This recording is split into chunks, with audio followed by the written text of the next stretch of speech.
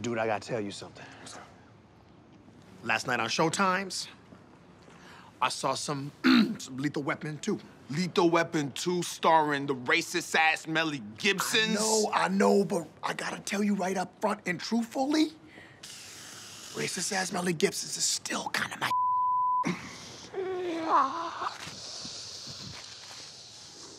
He's still my.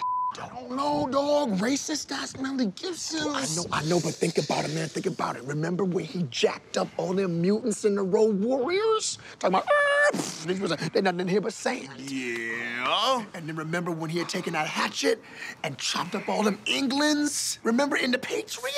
And did it in front of all his kids? You know what, though?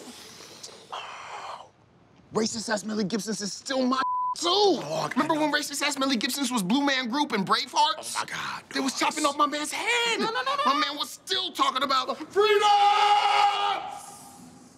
Or what about conspiracy theories, though? What? Oh, come on, man. What the f about conspiracy theories, though? What the f about conspiracy theories, though? What is going on?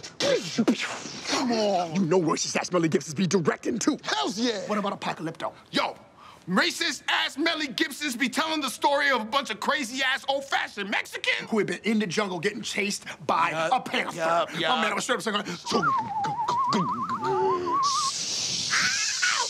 And what about that Passions of the Christ? though? Passions of the Christ, though. Passions of the Christ. Passions of the Christ, where racist ass Melly Gibsons made that movie about Jesus in a kind of racist ass way. That was on my jam. And you know what I just realized, though? What's that? You know what would be my Uh, what would be your if racist ass Melly Gibsons Yep. co-starred in a movie with Jesus? Wait, say, you talking about the, the savior of all, the king of all kings, the Alpha and the Omega? and Jesus.